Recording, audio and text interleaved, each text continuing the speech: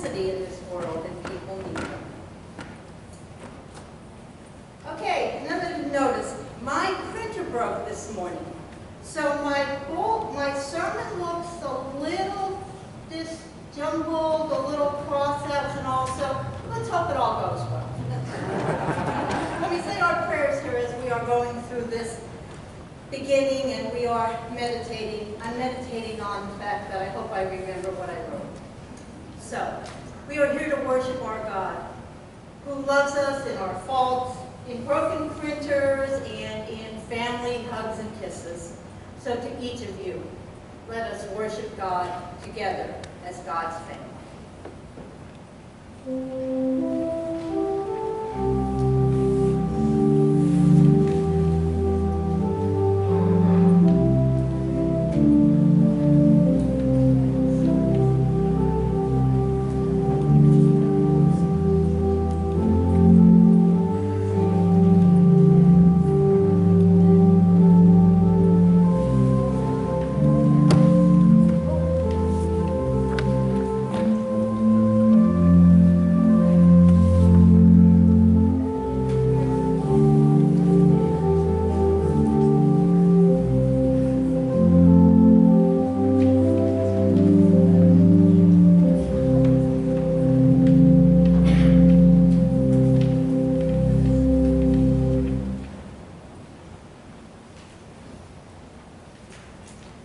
That surprise party. If anybody noticed, that was If I Had a Hammer, or pull that out, I guess, from the uh, sermon title.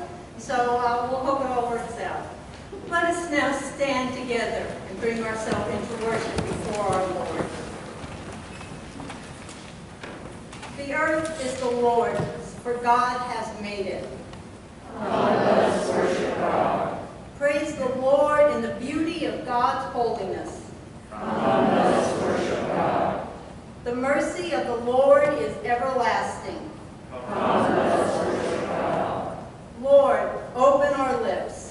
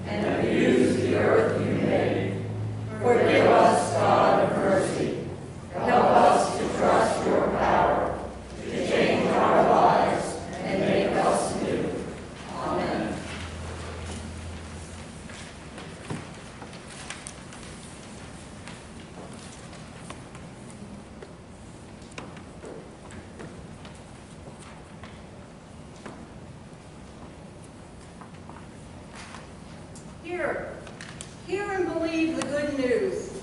God is slow to anger and abounding in steadfast love. God reaches out to us again and again and again, that we might turn away from what is destructive and turn toward what is life-giving. God reaches out to us with forgiveness, assuring us that we are the beloved children of God and equipping us to serve God and our neighbor in this world. God forgives us, encourages us, and frees us to love and to forgive others. Thanks be to God.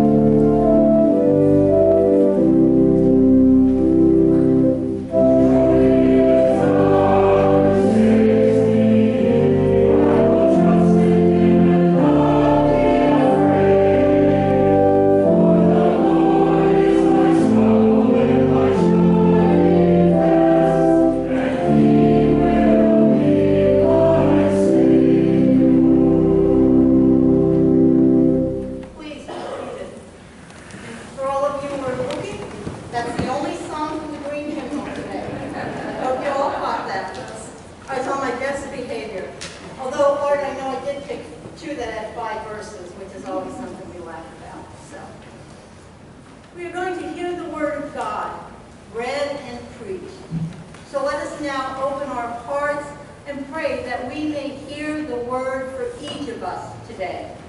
Let us pray together. Eternal God, in reading of the scripture, may your word be heard. In the meditations of our hearts, may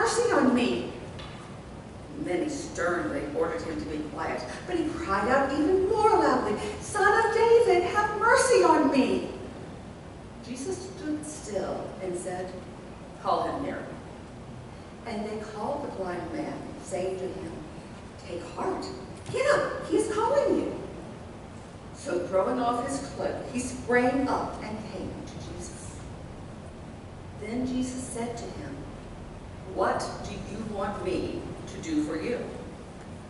The blind man said to him, My teacher, let me see again. Jesus said to him, Go, your faith has made you well. Immediately he regained his sight and followed him on the way. This is the word of the Lord. Thanks be to God.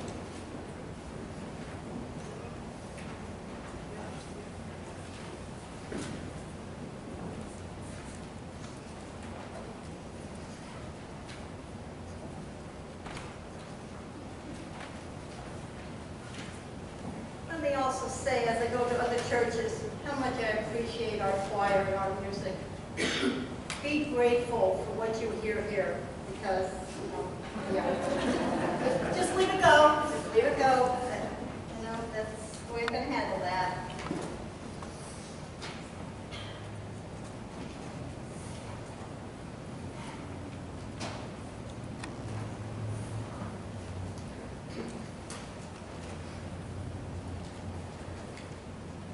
My second lesson today comes from the book of Genesis, chapter 6, and a variety of verses.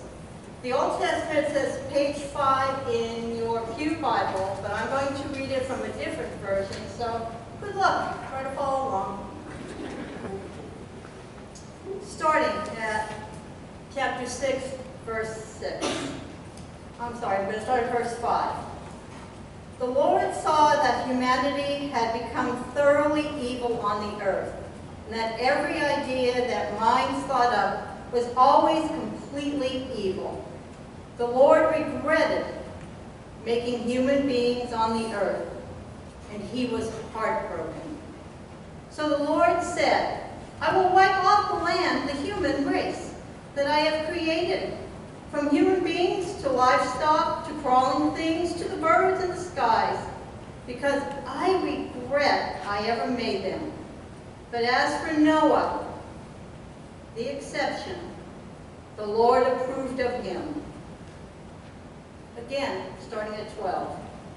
God saw that the earth was corrupt, because all creatures behaved corruptly on the earth. But God said to Noah, The end has come for all creatures, since they have filled the earth with violence. I am now about to destroy them with, along with the earth. So make a wooden ark. Make the ark with nesting places and cover it inside and out with tar. This is how you should make it. 400 feet long, 75 feet wide, and 45 feet high. Make a roof for it and complete it with one foot from the top. Put a door in the side, and in the hole below, make a second and third deck. I am now bringing the floodwaters over the earth to destroy everything under the sky that breathes.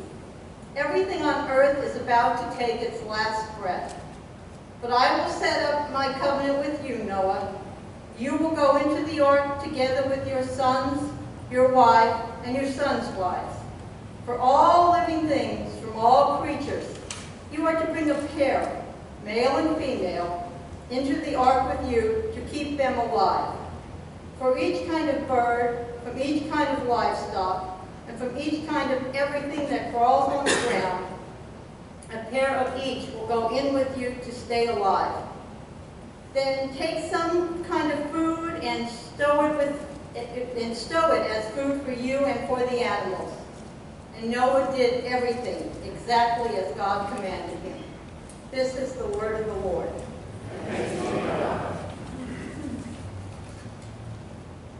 The seed of this sermon came to me while I was reading a novel. Those of you who know me know that's what I do most days anyway. The book I was reading is called The Lincoln Highway by Amor Towles. The hero of the book, Emmett Watson, when he was about 16, decided he wanted a part-time job. His father was a farmer, but Emmett did not want to farm. So he went into the small town in Nebraska where he lived and asked the local contractor if he could teach him to be a carpenter. The builder was curious and asked Emmett why, as his father was a farmer with animals and land, why wouldn't he want to learn farming and take over his family's place when he was older? And Emmett replied, Job, Job had land and animals, but Noah had a hammer. And I think his story turned out so much better. I like Noah's story.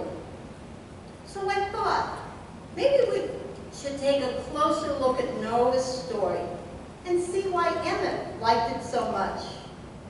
And then maybe we will see so many of the nuances that we miss when we tell this story to children. When I read Genesis 6, 6, that God regrets creating humankind and is heartbroken over the state of the earth, I can hardly breathe. But I think the Lord God is sorry that the earth is filled with evil and violence. I too am heartbroken.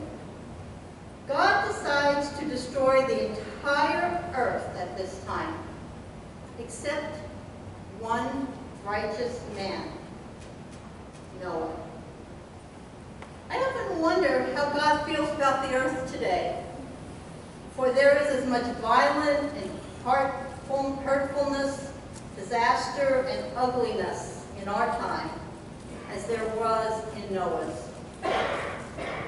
God must still have some regret over the creation of humankind, maybe at least once a year, or a day, or even maybe a minute.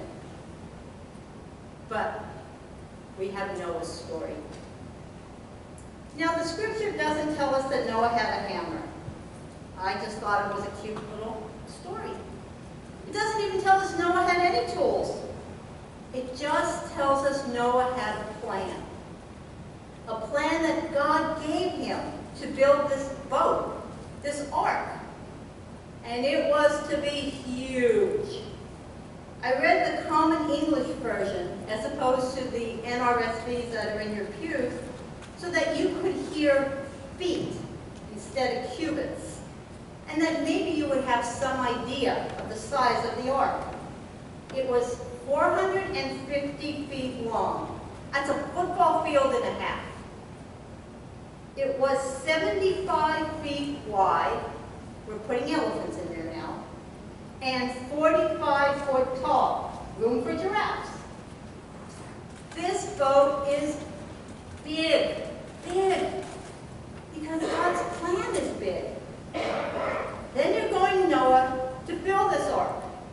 You're going to fill it with your family and your children, your sons and their family, and there's going to be a place for the animals.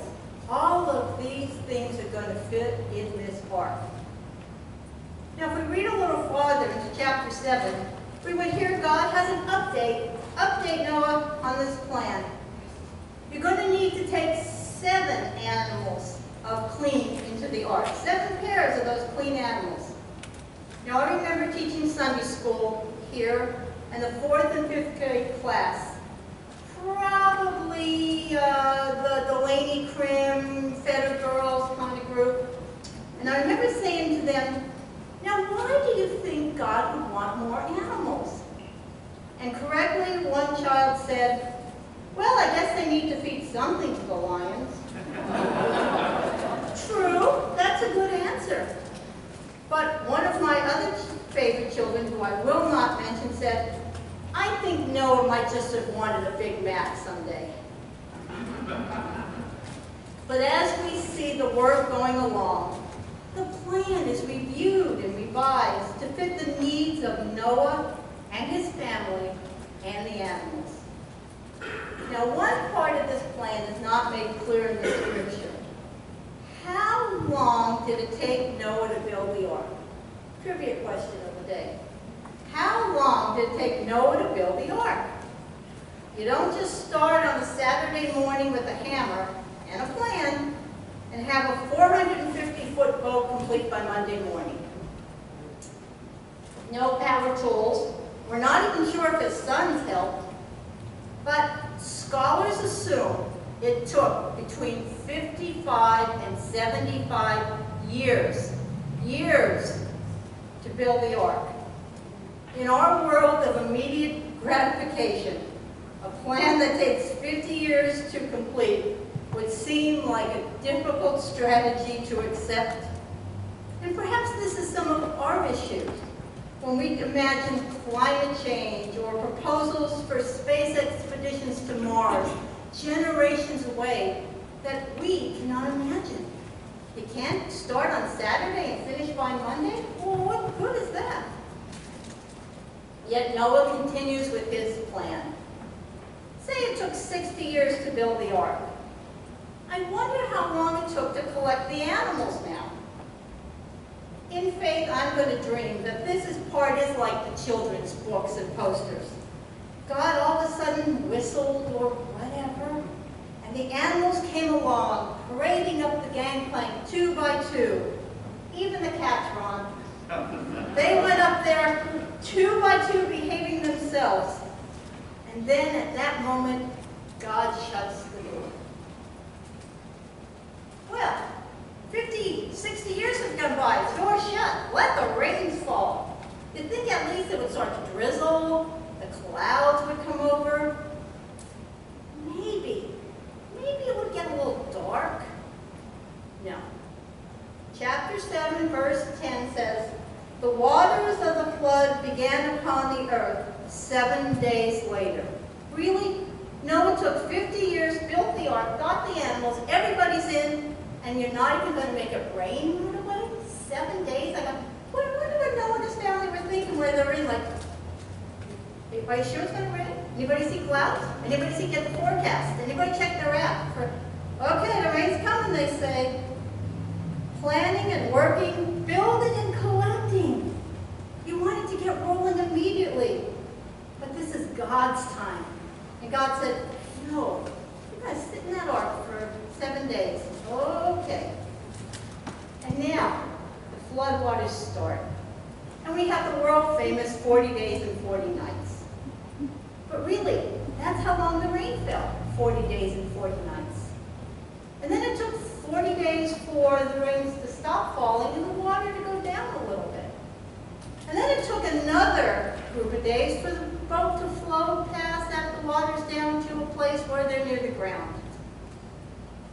And then Noah does the famous, sends out the raven, raven comes back, sends out the dove, the second dove comes back. Finally, when Noah sends out the second dove, it doesn't return to the ark, affirming that there is now dry land. And God calls Noah to come out of the ark and to return to the land and rebuild the world. And Noah's first act in this new world is an act of worship. Building an altar, using that hammer again to worship the Lord. And the Lord responds with the covenant as promised, that never again would God destroy the earth with flood waters, and the covenant would be sealed with a beautiful rainbow. So often Noah's story is given the impression that it happened in 40 days and 40 nights. But it was actually a plan that took years. No, at least, at least 50 of them, closer to probably to 75. And it only started with a righteous man with God's plan.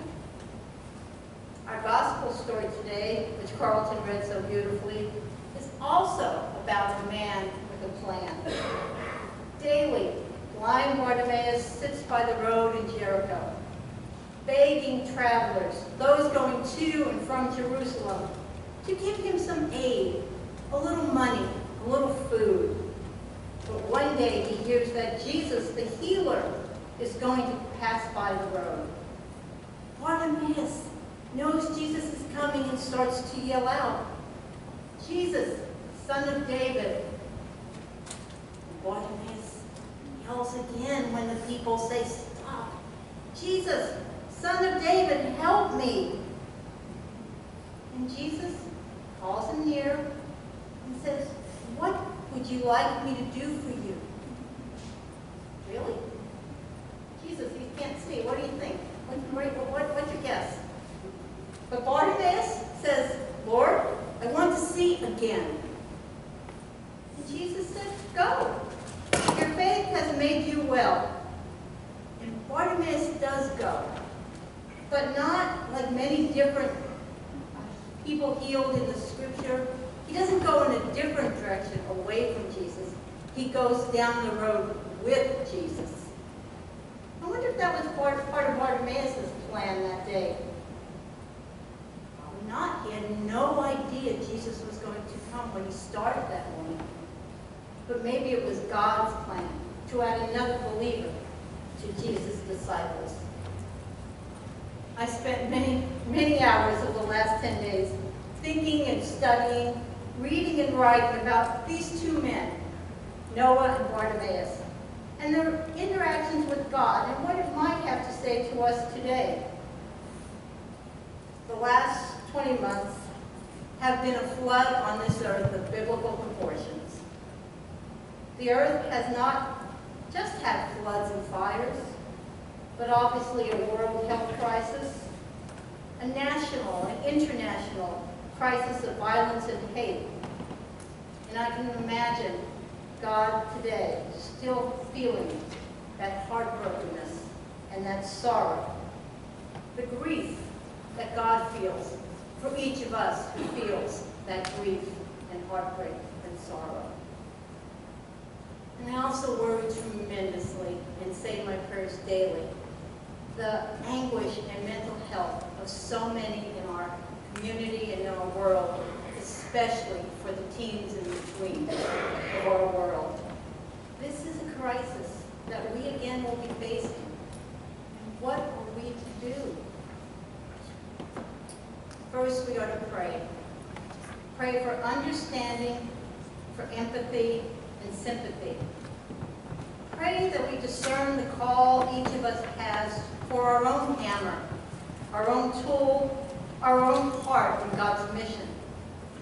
I have no illusions that I am a Noah, knowing God's master plan.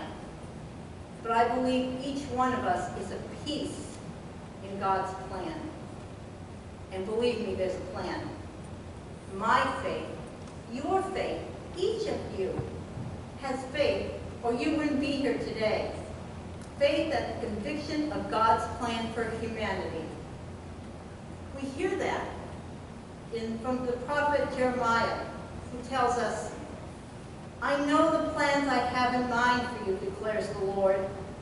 They are plans for peace, not disaster, to give you a future filled with hope. When you call me and come and pray to me, I will listen to you.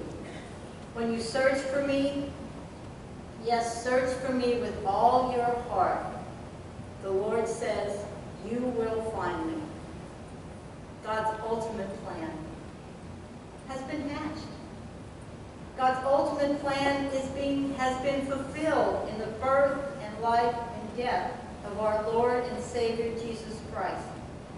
Jesus, who was the healer to Bartimaeus, is still the healer for each of us today. God's promise of a building, of building a new Jerusalem, bigger and better than any hope, is still true. The plan of God is in motion, and God's plan will not fail.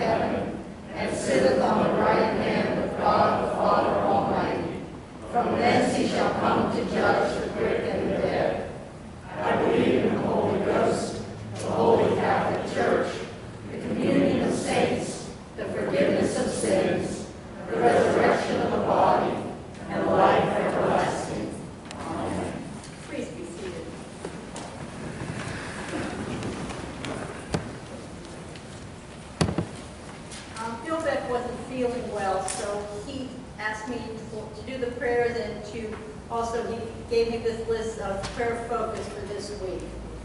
So, um, to let you know, Ruth Mowry died on the 18th of October, and graveside services will be held for her at Fort Indiantown Gap on November 8th.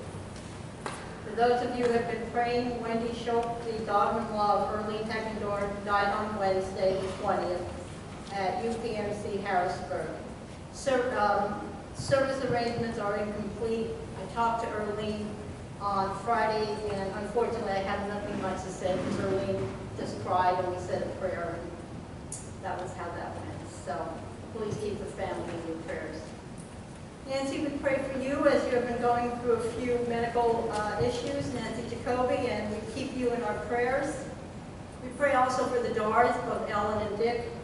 Ellen is uh, very weak and sleeps most of the time. And Dick does his best to take care of her. So they uh, request that they have no visitors or calls, but cards are appreciated. Tracy Summers had laparoscopic, big words for me, knee surgery and to repair a torn meniscus, and this is, oh, this is to happen on Monday, October 25th. That'll be tomorrow, my days are right. So please keep Tracy in your prayers.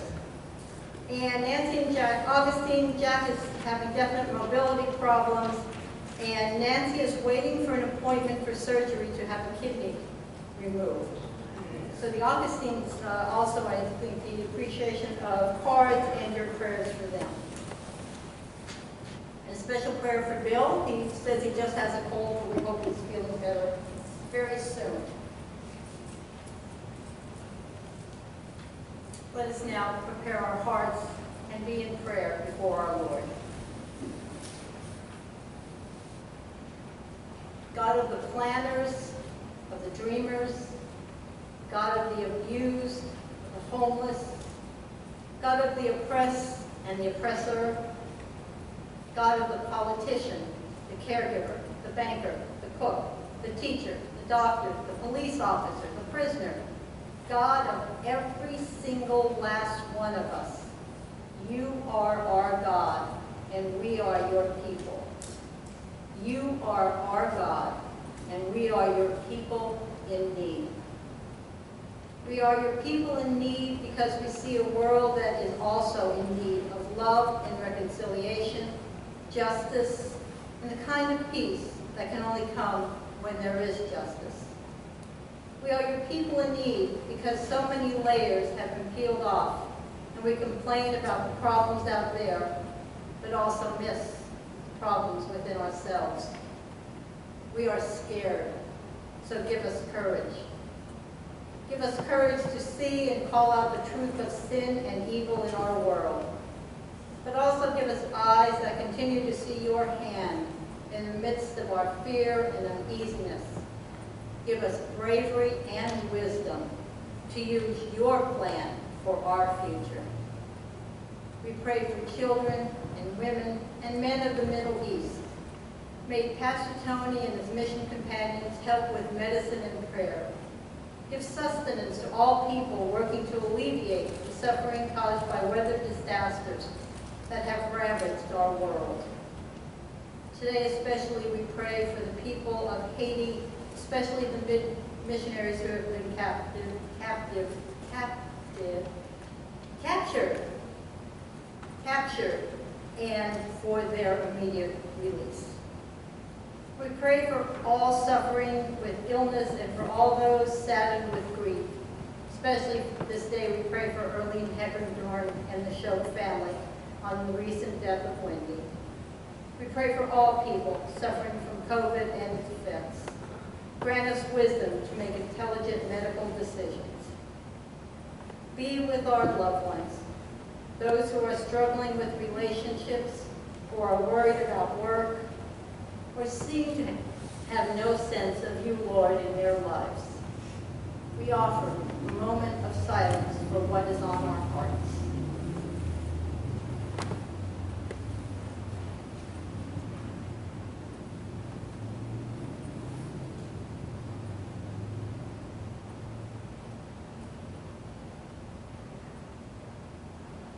O Lord, give hope to the hopeless, food to the hungry, love to the unlovable, grace to the greedy. Give us courage to look within ourselves, to become aware of our own dismissals, our own sin, and the parts of our hearts that have become hardened for whatever reason. Remind us to be grateful, grateful for prayer, grateful for your merciful love and acceptance of us, grateful for your being a God who knows human suffering because you experienced. Grateful for the promise that nothing, absolutely nothing, can separate us from you. We pray all this in the name of Jesus, in whose death and resurrection we find our own story of death and resurrection and hope. Hear us, Lord, as we pray together. Pray, Our Father, who art in heaven, hallowed be thy name. Thy kingdom come, thy will be done, on earth as it is in heaven. Give us this day our daily bread, and forgive us our debts, as we forgive our debtors. And lead us not into temptation, but deliver us from evil. For thine is the kingdom, and the power, and the glory forever. Amen. We come now to the time of our offering. I'm sure there are plates in the building. Yep, there they are. There's still places, places online where you can give. I hope you will also think a little bit of our sermon today, where your part that you can give of yourself, whether in prayer or in hope, what you can do to be part of God's plan for our world. And in thinking about giving, let us pray together our prayer of thanksgiving. Almighty God, giver of every good and perfect gift, teach us to render to you all